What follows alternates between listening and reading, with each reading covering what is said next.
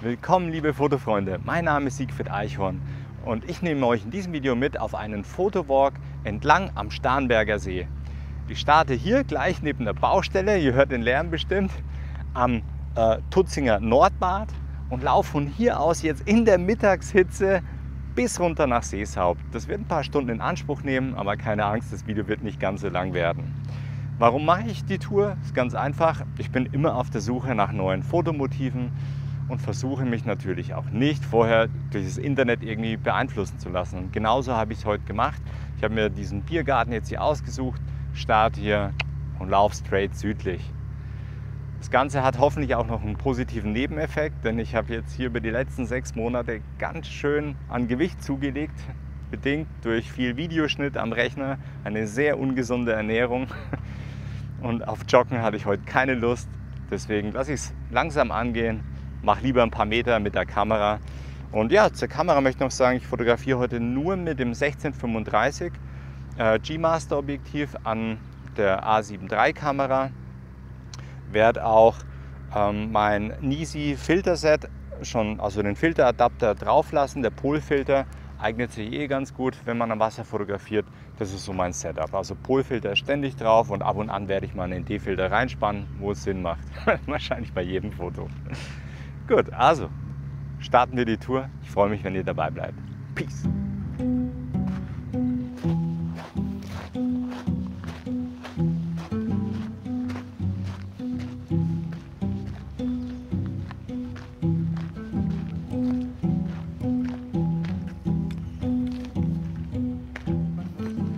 das erste Fotomotiv, was mir hier gleich in Tutzing am Nordbad oder am Mildgradhaus in die Augen sticht, sind diese zwei prägnanten Löwen an der Uferpromenade. Das ist das erste Foto, das muss ich einfach mitnehmen. Da habe ich auch schon mal ein Nachtvideo dazu gemacht. In der Nacht kam die auch richtig cool bei Mondschein. Das Foto nehme ich jetzt mit einem ND-Filter auf und mit dem Polfilter. Am Polfilter drehe ich jetzt erstmal, dass ich die weiße Reflexion von der Sonne aus dem Wasser rausbekomme äh, fokussiere manuell auf den Horizont oder auf das andere Ufer. Was für eine Blende nimmt man da? Schau mal, Blende 10. Jetzt drehe ich hier mal an meinen Polfilter noch, um die Reflexion rauszunehmen, so in etwa, und setze jetzt vorne noch den ND-Filter drauf. Und, ja, genau. und, ähm, und dann Jetzt schaut schon besser aus. Jetzt kann ich hier auf einer 10er Blende circa 10 Sekunden lang belichten. Die Wolken, die schauen total überstrahlt aus, obwohl die Sonne gerade hinter den Wolken sich versteckt. Ich baue jetzt noch einen Verlaufsfilter drauf. Hier habe ich auch einen von Haida, einen ganz, ganz einfachen 09er Filter. Hier könnt ihr sehen, wie der die Wolken schön abdunkelt. Das kann man auch genauso gut in Lightroom im Nachhinein machen, aber in der Nachbearbeitung bin ich jetzt nicht der fleißigste und beste. Deswegen versuche ich so gut wie möglich das Foto schon hier vor Ort aufzunehmen. Aber das Bild mache ich ja in RAW, bearbeiten muss ich es trotzdem ein klein bisschen. Muss ich das Bild noch beurteilen, wie weit ich den reinstecke. Umso weiter ich den reinstecke, umso stärkere Vignette habe ich dann eben. Aber so sieht es für mich ganz gut aus. Nächsten Schritt wähle ich jetzt noch die Auslöseverzögerung, die ist schon drin, 2 Sekunden und nehme meine äh, Stabilisierung vom Sensor raus, Steady Shot off. Genau, jetzt mache ich so das erste Bild. Dann kann es gleich weitergehen. Jetzt achte ich auch hier darauf, dass ich keine Boote oder irgendwas auf dem Wasser sehe, was wackelt, weil bam, Sonst hat es hier keinen Sinn, eine Langzeitbelichtung zu machen, sonst würde das verschwimmen.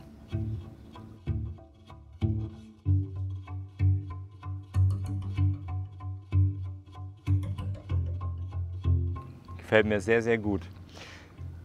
Hm, bevor ich jetzt weiterlaufe, eine Perspektive will ich noch ausprobieren, weil die Wolken mir hier gerade in dem Spot so schön gefallen.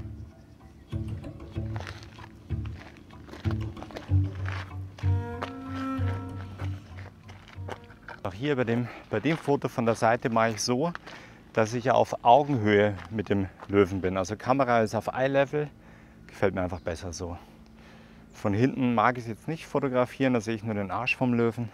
Deswegen beschränke ich mich jetzt nur auf den Kopf. Und auch aus der Perspektive ist es ganz interessant.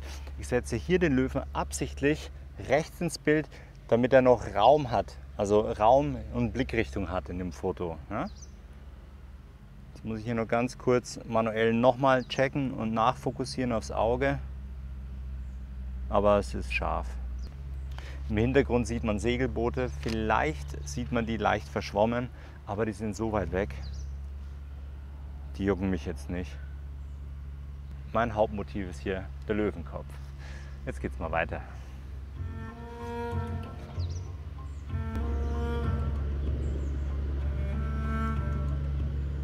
Weit gekommen bin ich jetzt nicht, denn 50 Meter rechts neben dem Löwenpaar ist ja nochmal so ein schöner geteilter Baum, der super schön in Richtung Wasseroberfläche wächst. Und hier mache ich mir jetzt die Sonne zunutze, indem ich jetzt äh, die Sonnensterne einfange. Und das mache ich jetzt hier aus der Hand mit einer 22er Blende oder 20er Blende sowas. Die Sonne steht fast senkrecht über dem Baum und spitzelt durch die, durch die Blätter durch. Und das Ganze mache ich jetzt im Hochkantformat.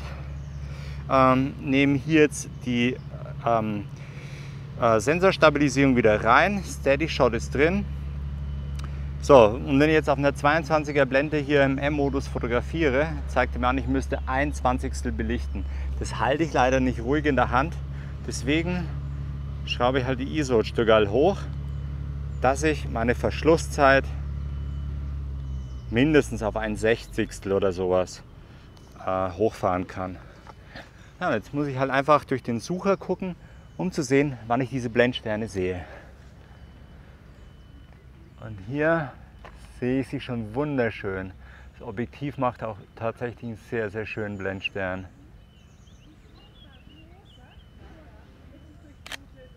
Super schön. Fokussiert habe ich auf den vorderen Bereich dieser Bäume. Vorne auf die Baumspitze. 3, 2, 1. Bam! Cooles Bild. Also ich habe ja auch ein Video äh, mit Nachtfotos hier gemacht sah ganz anders aus, aber auch gut. Aber da hatte ich mit einem, glaube 14 mm mit dem Samyang das Foto gemacht und da konnte ich die Kamera auch direkt an den Baumstamm anlegen und habe alles drauf bekommen. Also ich glaube nicht, dass ich es bis Seehaupt runter schaffe. Ich habe jetzt schon eine Stunde vertrödelt an zwei kleinen Fotomotiven. So seht ihr, wie viel Zeit ich mir eigentlich nehme, um so ein Foto zu machen. Gut, mit der Kamera und so weiter dauert es auch noch ein bisschen länger, aber bin ganz zufrieden mit den zwei Spots, jetzt schon mal. Also Tutzing am Nordbad loslaufen, dann kommt ihr hier an dem Biergarten Mildgardhaus vorbei, da stehen die Löwen und dieser Baum. Diesen Zufall nutze ich jetzt, dass die Starnberg, also das Boot dahinter mir angelegt hat. Das baue ich jetzt hier mit ein in mein Stegfoto. Ich verwende hierbei wieder den ND-Filter, den Verlaufsfilter und werde 8 Sekunden lang belichten, so circa. Ist mal ein besonderes Foto. Hatte ich jetzt auch noch nicht Steg und Boot, dass das von der Komposition einfach alles gut zusammenpasst.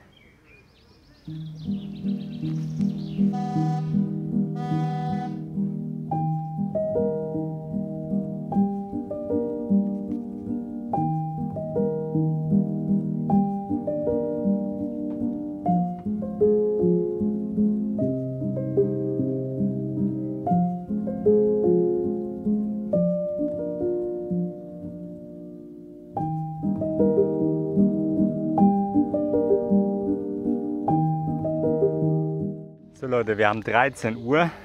Schlechter könnte das Licht nicht sein. Aber ich bin jetzt hier in dieser schönen Allee irgendwie angekommen, durchgelaufen und dachte mir, ist vielleicht auch ein Foto wert.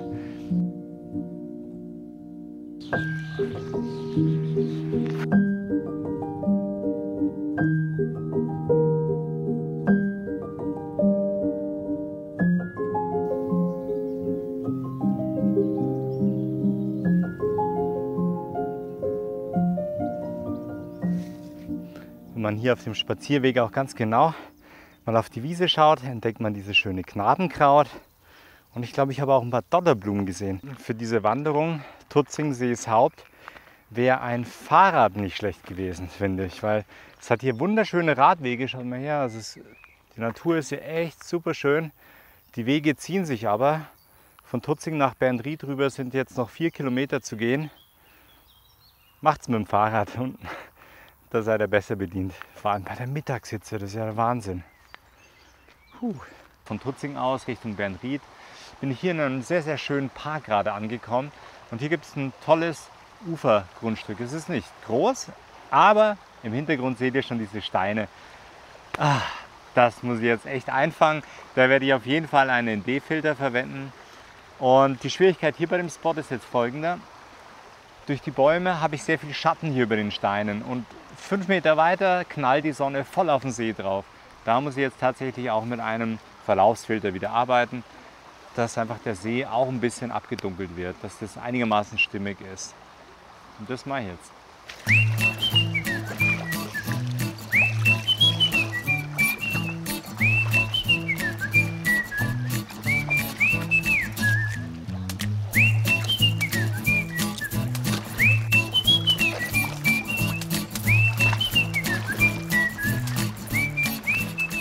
Solchen Aktionen braucht man echt ein stabiles Stativ, sonst hat man verloren im Wasser.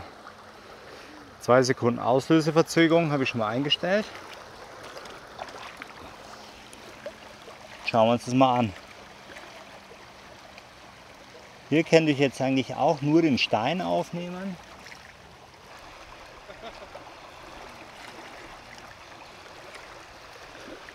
Die Filmkamera nehme ich jetzt nicht mit ins Wasser, ich gehe jetzt mal da hinten zu dem Steinhaufen, fotografiere den mal auf 15, 20 Sekunden auf einer 7er oder 8er Blende. Und ja, was habe ich eingestellt? Zwei Sekunden Auslöseverzögerung, ISO 100 und wie gesagt 7er, 8er Blende werde ich wählen. Und die Steine liegen in der Sonne, da muss ich mal gucken, wie es läuft.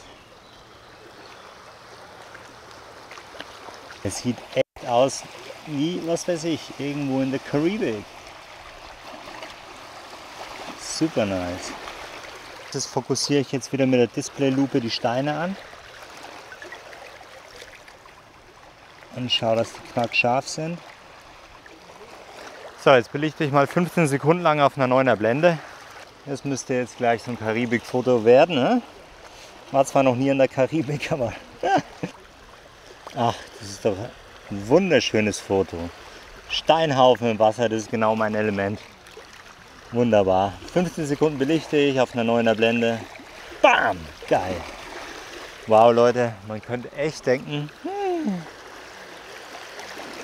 man ist hier sonst irgendwo. Jetzt kümmere ich mich noch um den anderen Steinhaufen da. Gehe genauso vor, stelle die Kamera hin, fokussiere nochmal manuell nach, warte bis dieses Wellenset hier durch ist Oh, jetzt kommen aber richtige Wellen hier an. Oh, wow, wow, wow. Aber es hat gereicht. Bei der Langzeitbelichtung ist immer wichtig, dass sich nichts im Hintergrund bewegt. Also keine Boote sind oder Menschen. Ja, die würden mein Bild sonst kaputt machen. Cool. Noch ein schönes Bild. Alter, traumhaft. Traumhaft. Ich fokussiere diesen hellen Fleck scharf an auf den Baumstamm direkt. Oh, genial. Geniales Bild, ey. Super. So. Das soll es jetzt von diesem Spot hier gewesen sein.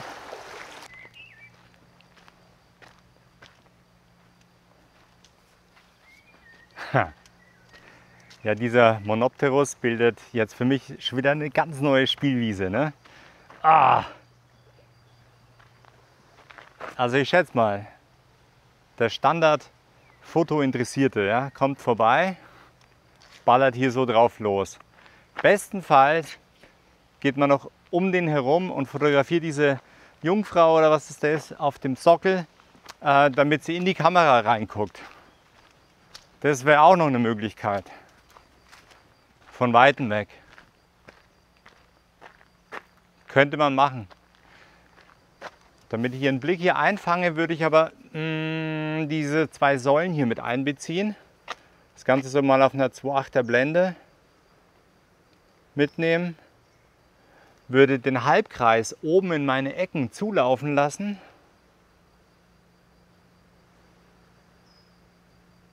Und dann hätte ich schon ein ganz schönes Bild. 2,8er Blende. Aber es ist... Äh, es taugt mir noch nicht 100%. Ich weiß nicht, ob ihr es sehen könnt, aber es ist ja auch hier oben ein Rondell. Das wäre halt schon ziemlich geil, wenn man das ähm, komplett auch irgendwie mit fotografieren könnte. Ich hole mal die Kamera näher. Hm. Jetzt gilt es wieder kreativ zu werden. Das mag ich.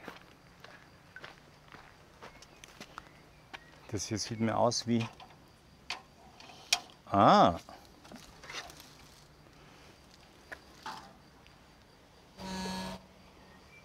Okay.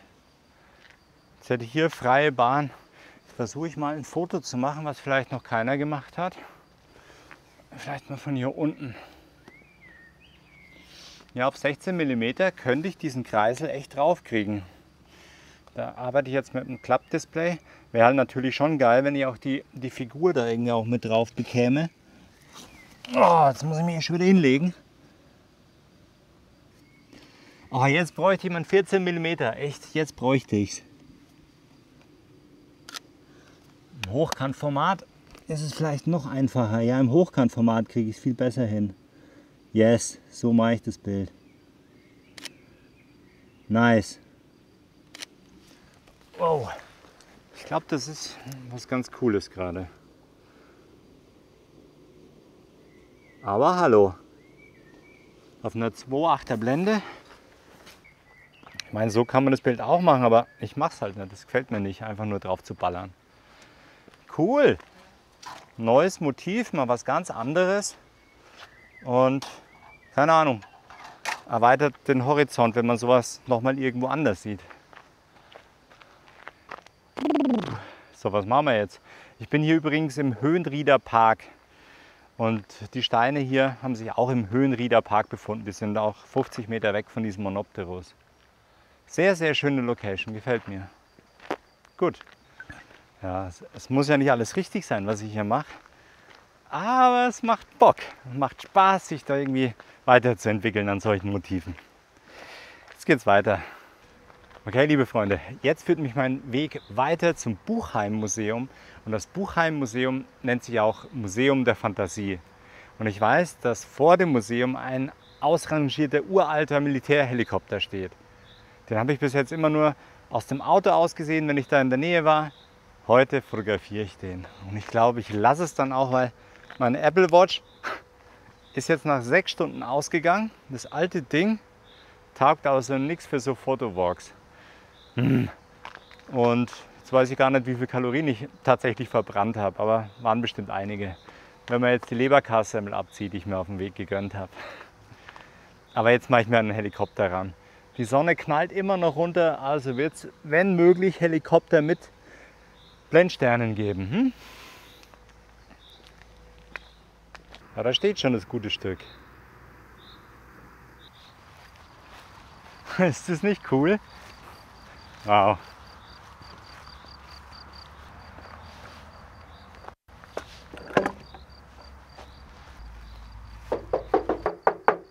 Das Ding ist tatsächlich echt. Ganz schön groß so ein Teil, du. Sieht aus wie so eine Libelle. Ich glaube auch, die Helikopter haben sie auch den Libellen nachempfunden. War so die Idee dahinter. So, wenn ich den Helikopter jetzt in Szene setzen möchte, würde ich es genauso tun wie beim Auto. Ich würde von schräg vorne drauf schießen. Also von der Seite aus macht es ja keinen Sinn, weil ich die Blendsterne haben will. Also muss ich von schräg unten hier hochballern. Und dann versuche ich halt irgendwie, dass die Sonne an den Rotorblättern oder oben am Dach ähm, sich da irgendwie zeigt. Das wäre jetzt der Plan. Also komme ich von unten, ähm, um Sonnensterne auf, um Sonnensterne aufzunehmen, brauche ich eine hohe Blendenzahl, meinetwegen F20, F18, irgend sowas. Und äh, genau, um lang zu belichten, stelle ich die Kamera auf Stativ. Aus der Hand halte ich die jetzt nicht ein, zwei Sekunden ruhig. So gehe ich es jetzt an. Dann nehme ich jetzt auch mein Mini-Stativ her, das reicht mir. Genau. Da habe ich jetzt auch richtig Bock, ganz nah ranzugehen, auf 16 mm das Bild zu machen. Und ich teste das jetzt tatsächlich auch mal auf einer 22er Blende, weil ich mir einfach einbilde, da die schönsten Sonnensterne zu kriegen oder Blendsterne zu bekommen. So, von den Einstellungen her gucke ich jetzt nochmal drauf. 22, ISO 100. Fokussiert tue ich hier vorne auf die Schnauze, auf die Motorhaube oder was weiß ich, was das ist. Und dieses Rotorblatt hier lasse ich in die linke obere Ecke zulaufen. Das schaut für mich von der Linienführung auch sehr, sehr stimmig aus. Hm, schönes Bild. Und ich finde es auch was Besonderes, weil ich so nah an dem Helikopter dran bin. Aus der Ferne fotografiert finde ich jetzt nicht so toll. Ein nicht so ganz gewöhnliches Bild habe ich jetzt hier auch noch gemacht. Aber wenn ich auf die Uhr schaue, haben wir jetzt gleich 17 Uhr. Ich muss den Weg noch zurücklaufen. Sind jetzt noch ein paar Stunden Fußmarsch. Ich breche jetzt hier ab. Leider komme ich nicht mehr bis ganz runter nach Seeshaupt. Das war ein frommer Wunsch, bis da runter zu laufen mit der Kamera. Aber mir hat es gut getaugt. Ich habe verschiedene Motive ähm, eingefangen. Das Video war auch für mich oder der Film jetzt abwechslungsreich, weil nicht nur Stege einfach zu sehen waren, sondern auch andere Dinge wie diesen Helikopter hier. also coole, coole Sache. Ich freue mich, wenn ihr bis jetzt dran geblieben seid. Gebt mir gerne ein Like für dieses Video. Abonniert meinen Kanal, da freue ich mich riesig darüber. Mein großes Ziel sind die 20k am Ende des Jahres. Jetzt sage ich noch Ciao, euer Sigi vom Ammersee, aber heute vom Starnberger See. Bin schon wieder fremd gegangen. Peace out, Leute. Bam!